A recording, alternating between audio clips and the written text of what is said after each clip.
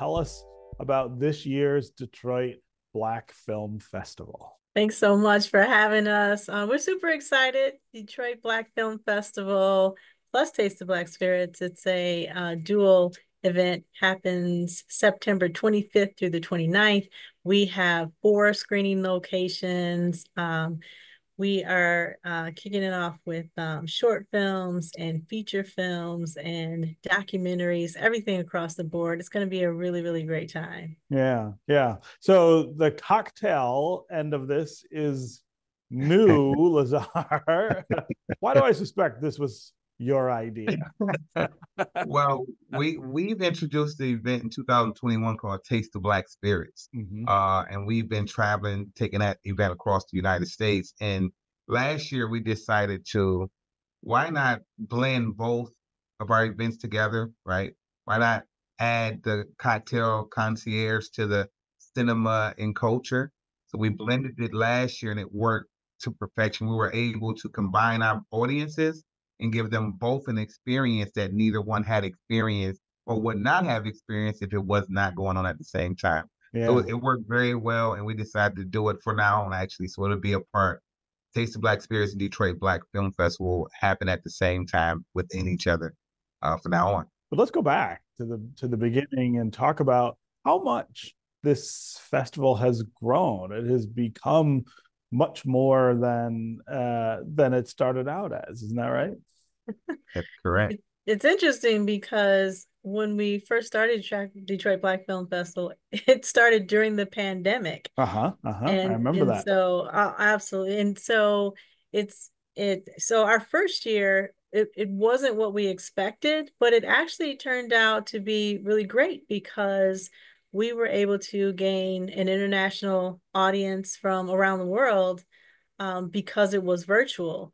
Uh, we had all of our films that were screening online and the the connection that we had uh, doing the Zoom calls and being able to connect artists with the audience uh, virtually uh, worked out, you know, really really great. And then once we were uh, back in full effect uh, per in in person, it just made it that much more exciting because mm-hmm. people got to be in the same place in the same space as the filmmakers people that had made connections during the pandemic were able to come to detroit and meet each other uh, personally and experience their films um, uh, in person as well. So it it it's grown uh, in in a sense that our audience uh, has grown, and even with the number of films, we have 57 films from around the world this mm-hmm. year that mm-hmm. we are mm-hmm. featuring.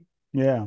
Let's yeah. talk about the films and how you choose them. Uh, you, you usually have uh, quite a bit from Detroit, and you you are great at featuring Detroiters. But but as you point out, the films come from all over the world uh, as well. Uh, let's let's walk through the the process of of how you figure out what's in the festival, and then tell us what we should be excited about this year.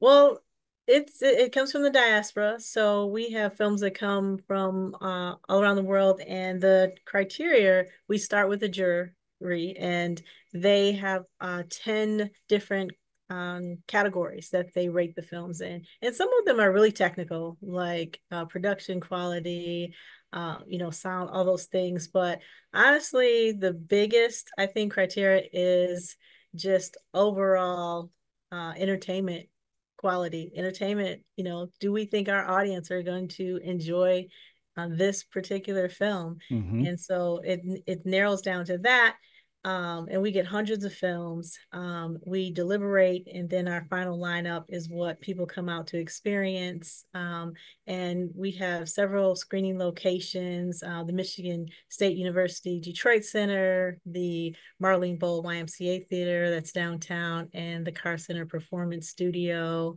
Uh, as well. The Carr Center usually has uh, the documentary films.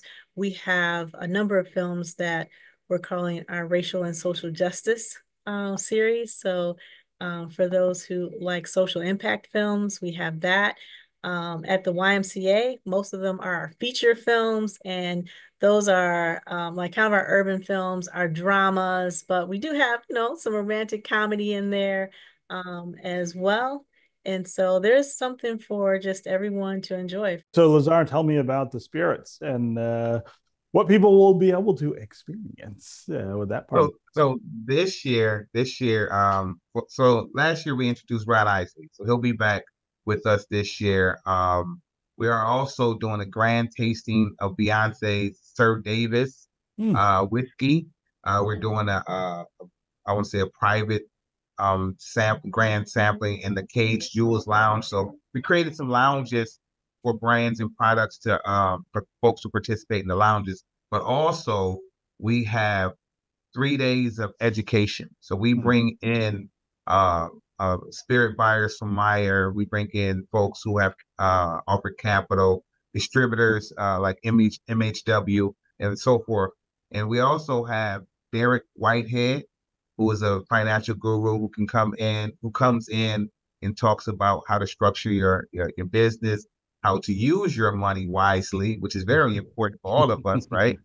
um, but it's going to be a great time. And then the the, t- the sampling itself, you're able to sample over 150 African American owned spirit brands, beer, wines, and beverages. When I say beverages, because we also have non-alcoholic uh, items and beverages, and we also are presenting some of our Detroit products like Nikki's Ginger Tea, um, our guy uh, Black Eden from out of uh, Idlewild, and several other brands. So it's going to be a great time. It's going to be full of education, entertainment, and elevation. Is what I like to call it. Yeah.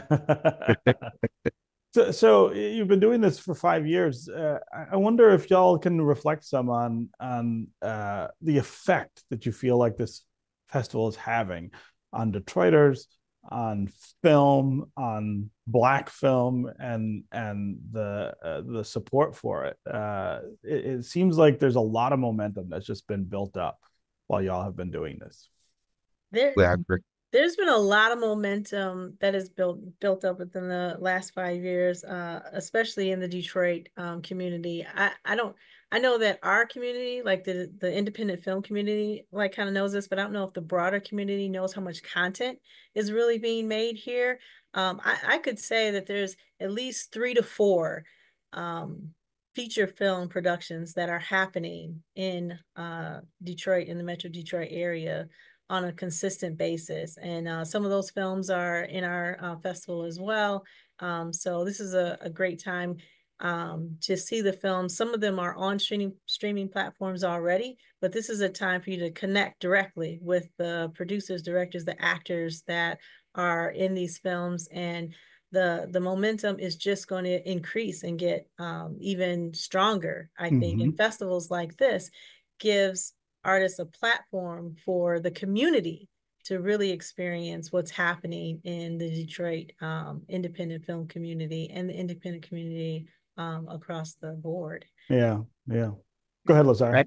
And I think it gives us it gives us a um as as filmmakers and as independent filmmakers who are working in the market gives an opportunity to hear to hear their voices, right? To tell these stories that we may not hear on uh, um a, a, large or a huge uh, festival or streaming channel. But we we've seen some short films. I'm talking about some amazing short films since day one. Our very first year, I think we only had very very few films, but 90% of those films. So the first year of Detroit Black Film Fest was difficult to choose because it was so many. It was so many great films that were that were submitted that we end up awarding probably 60% of the films that we chose because they were all great films. Uh, and the stories and the stories range from um narrative to short documentaries to uh it was a film called uh about our hair, right? About the black hair. It was a great film about that. So the things that we are able to uh folks were able to reach and the things we're able to achieve with what we do because we're very intentional about what it is we do. We're very intentional about delivering the message in the power of our mm-hmm. voices and the power of what we are able to do as Black people. Yeah. And I think this is one of those platforms that really gives us, us as Black people, an opportunity to really raise awareness about our experiences. And what's really great is that you are going to see some new faces, um, up and coming uh, actors uh, that you, you may not have known before.